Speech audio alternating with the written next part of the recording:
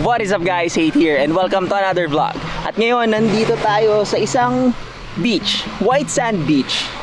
Kung hindi ito ang best beach dito sa Pilipinas, o kung hindi ito ang best overrated beach dito sa Pilipinas, hindi ko alam kung ano pa.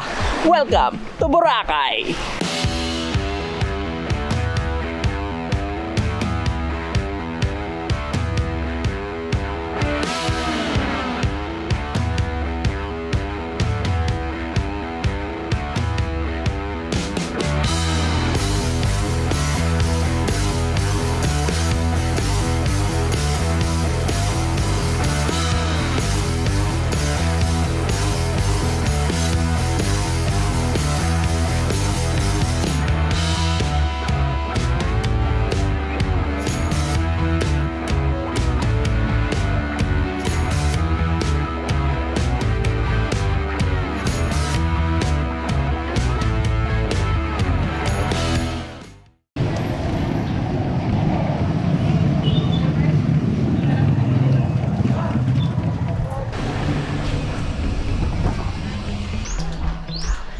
Alright guys, ngayon papunta tayo sa Station 3. So sumakay na lang tayo doon, tapos bumaba tayo dito. Nilalakad na lang natin papunta doon sa beach. Kung gusto mong makatipid dito, maglalakad ka lang ng maraming lakad. Kasi yung sasakyan mong e-trike, ano lang siya, individual lang yung singil. Hindi siya yung, ano, hindi siya yung rerentahan mo yung buong sakay. Alright, nandito na tayo sa Station 3, dito sa main beach ng Boracay. Wala pa masyadong tao dito sa spot namin. Pero doon sa kabilang side, sobrang dami na ng tao.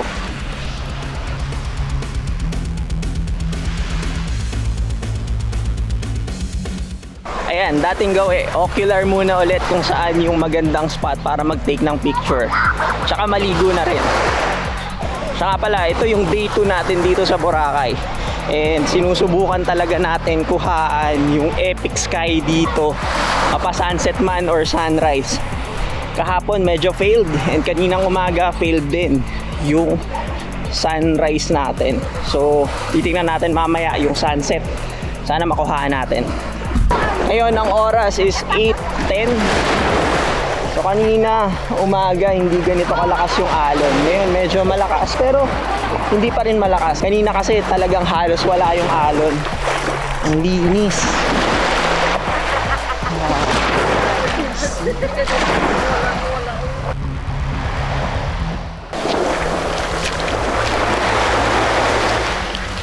Dito sikat na sikat yung Boracay sa pinong buhangin. Tingnan nyo kung gaano kapino to. Sobrang pino. He's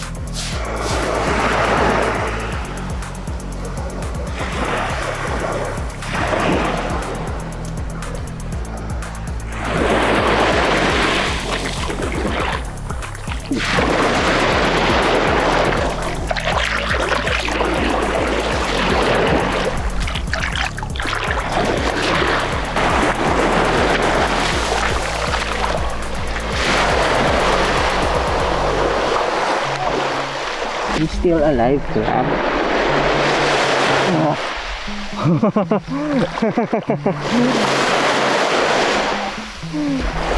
Alright, ngayon narating na natin yung halos dulo na rin itong Station 3. Wala na halos tao dito. Kasi doon nila gusto eh. Kasi malapit lang yun doon eh, sa entrance. Tapos dito, ang linis. Ang linis ng dagat. Sobrang linaw ng tubig. Tapos, sobrang pino ng buhangin. Sobrang pino.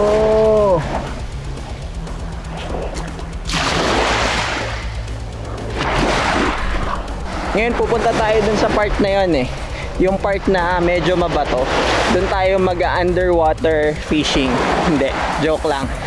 Kung medyo jahe kayo at nagtitipid kayo, tapos gusto nyo mag-island hopping, meron ding mga isda doon. Dala lang kayo ng goggles, tapos ng action camera. So, tingnan natin. Diyan sa mga batuhan na ganyan, merong mga isda dyan, mga maliliit na isda. Kung minsan, malalaki din naman. Tapos madami sila na nagkukumpulan dyan. Kaya masarap dyan mag-snorkeling. Ngayon, narating na nga natin tong batuhan. So, nandito tayo. Dito tayo sa medyo parang liblib na lugar dito sa Boracay. Kasi wala masyadong tao. Nagvi-video din pala tayo dito sa Insta360 1RS natin. Ang ganda dito! May ibon po. Kingfisher ba yon? Kukunan ko lang. Sayang, di ko nakuhaan.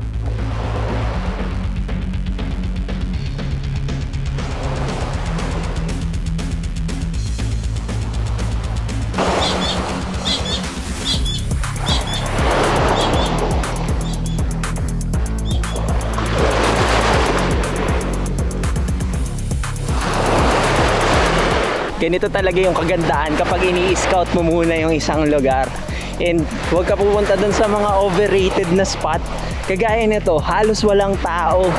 And kami yung nauna na dumating dito. Ang ganda. Meron pang mga mini cave oh. Mga mini cave. Amazing.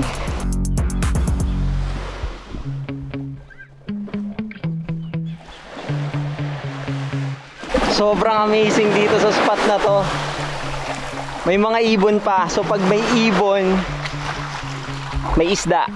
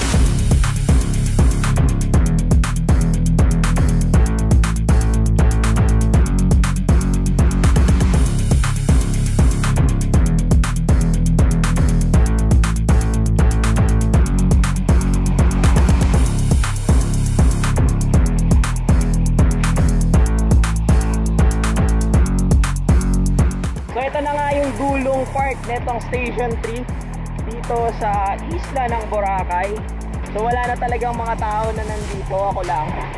And ang kapal ng lumot doon. Medyo mababaw lang naman dun sa part na yon. Pero ayoko nang tumuloy dun sa kabila. Dun kasi sa kabila, meron lang sigurong maliit na ganito shore na lang. Pero hindi ko rin talaga alam kung ano pang meron pa doon. Siguro maraming mga isda dito. Malakas lang yung alon. Ngayon.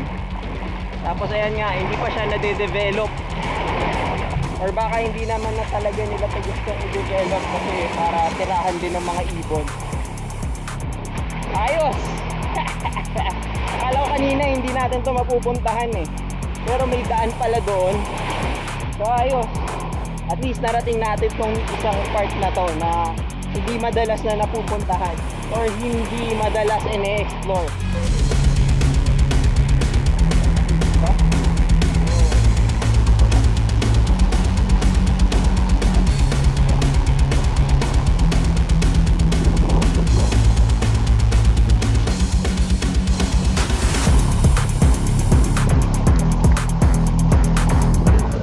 Pagpasensyaan nyo na yung katawan ko guys. Tara, balik na tayo dun. Kung sakali man na mayroong mga ngahas na pumunta dito na turista na hindi pa masyadong maalam sa mga ganitong klaseng lugar katulad ko, mag-ingat kayo kasi yung iba madulas. Baka madulas kayo sa ibang part niya. Yung galing oh, mayroong coma. Hello, coma. Well, coma.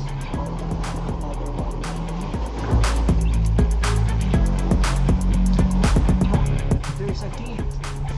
There's a. Boy. There's an awesome key.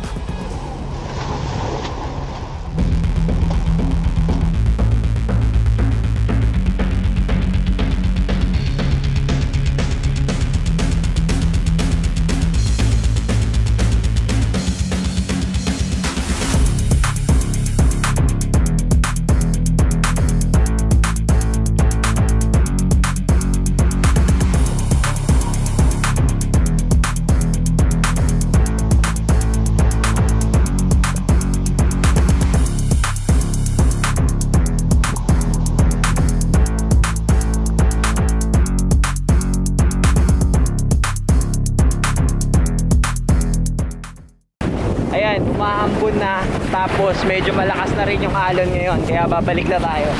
Yung gamit ko nga pala na audio dito sa recording is yung internal lang nung camera nitong Fujifilm X-H1.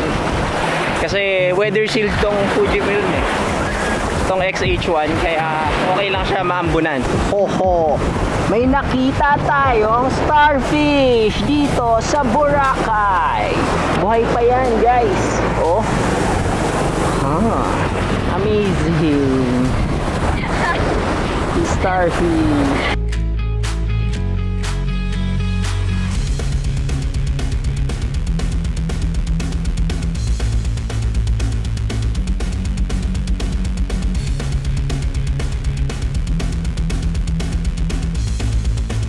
Medyo manipis yung ulap ngayon kumpara kahapon. Ang lakas ng alon. Yun lang ang ano dito, kapag maganda yung sunset, malamang wala masyadong ulap at wala masyadong ulap, malamang tirik yung araw.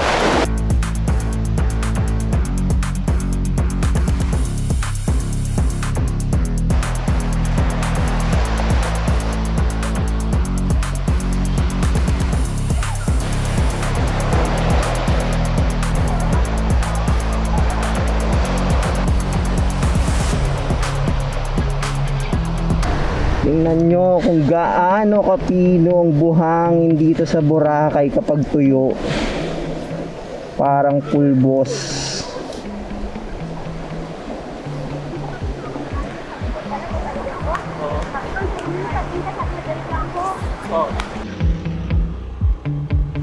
Naglalakad naman kami papunta sa Diniwid Beach. Sumakay na kami ng tricycle doon. Sabi ng tricycle driver medyo malayo pa daw sakay daw kaming habal-habal. Pero may mas lalayo pa ba sa mga nilakad natin kahapon? Mukhang totoo yung sinabi ni Kuyang e-trike ka.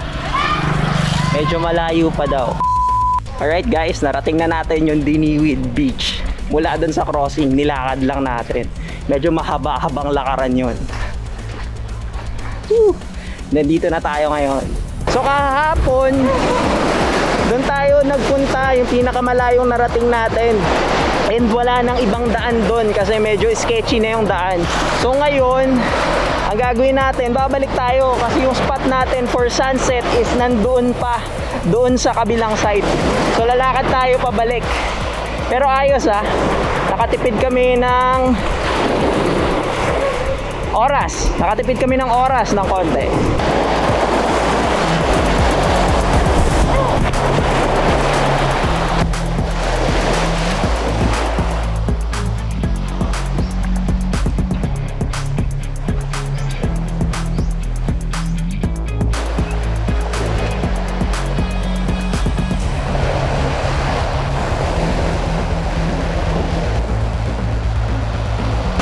Ito na yung dito natin ng pag-aabang ng sunset dito sa Boracay. So ngayon, tirik na tirik yung araw. So inaasahan natin or expected ko na mag-golden hour yan mamaya. Ang sunset is 6.21 dito. So as per checking. Kaso ngayon medyo malakas yung alon at mas marami ng tao konti dito sa spot na to dito sa Diniwid Beach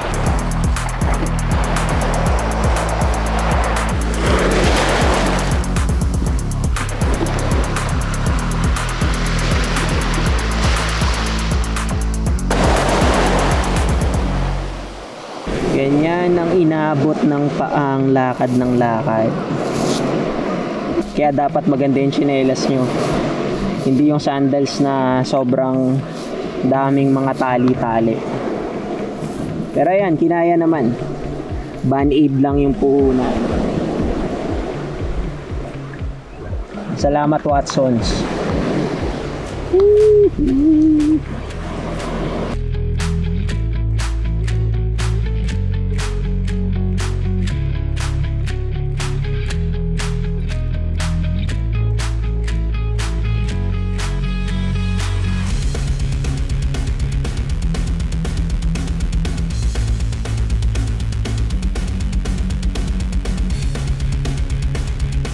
Sobrang lakas ng alon.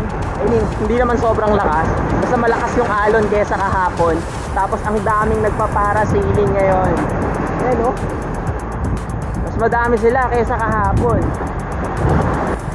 So mamaya yung sunset is 6.21 So magsiset up tayo mga 6 o'clock siguro Dun pa rin sa scene spot natin kahapon Ah, Dito yon banda Hindi ko alam kung makakakuha tayo ng epic sunset na ngayon Kasi maulap pa rin Though mas mataas yung araw or mas mainit kanina sana, sana, at least mag golden hour kahit hindi talaga lumabas yung araw mamaya sunset.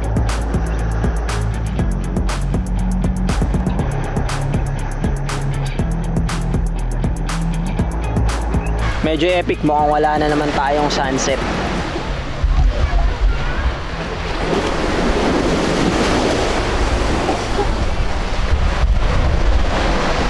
Parang may bagyo. Parang may bagyo ulit yung langit natin. So, walang sunset.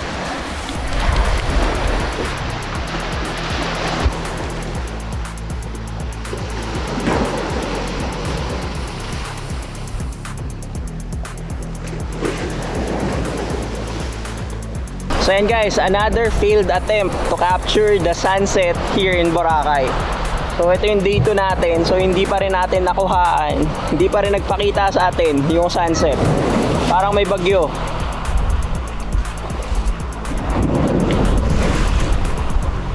So may isang araw na lang tayo para kuhaan siya. Hindi na ako nag-setup. Hindi na ako mangangaas mag-setup para kuhaan yung sunset. Kasi tingnan nyo naman yung ulap doon. Sobrang parang may bagyo.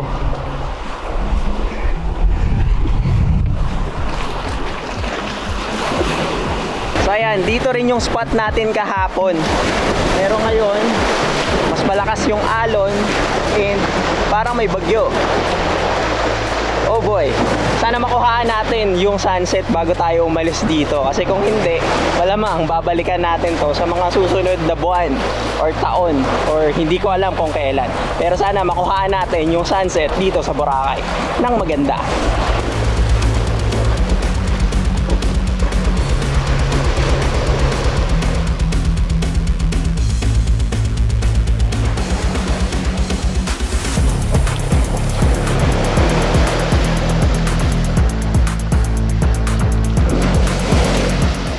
Yun, wala talaga eh. Wala ka talagang magagawa kapag hindi nakisama sa iyo yung nature.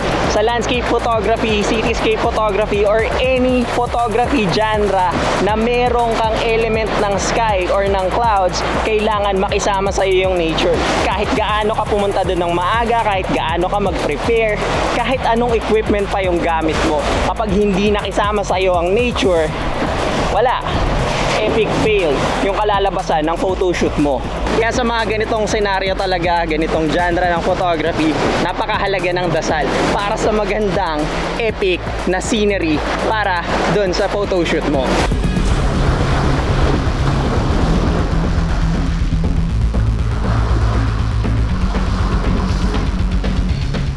So yan na nga, kinukunan lang natin ng time lapse. Titingnan natin kung ano pa yung makukuha natin. Pero medyo madilim na dito sa spot na to. So madilim talaga dito sa spot na to. And malakas yung alon. Yung camera natin na kumukuha ng time lapse, nakalagay lang siya sa mini tripod. And yung ginagamit natin for the audio recording is yung built-in audio nitong XT3. Woo! Ah, dito yung alon. Wala, wala talaga guys. Wala talaga tayo makukuha na sunset. Nakalubog na yung araw kanina pa. Ang oras ay mag-aalas 7 na. 6.50, 6.51. Imagine kung gaano kadilim dito sa spot natin. Tayo na lang yung natitirang tao dito. May mga pangilan-ngilan na dumadaan. Yung setup natin sa camera is nandun lang siya. Nasa mini tripod. Medyo sketchy nga eh. Nakakatakot kasi ang lakas ng alon ngayon.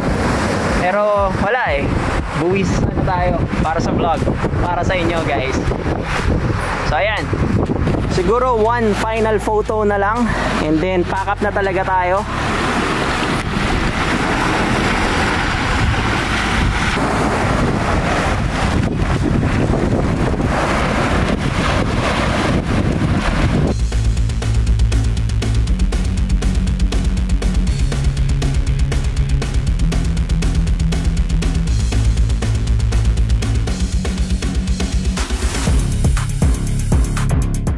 I will see you in the next video. Mabuhay!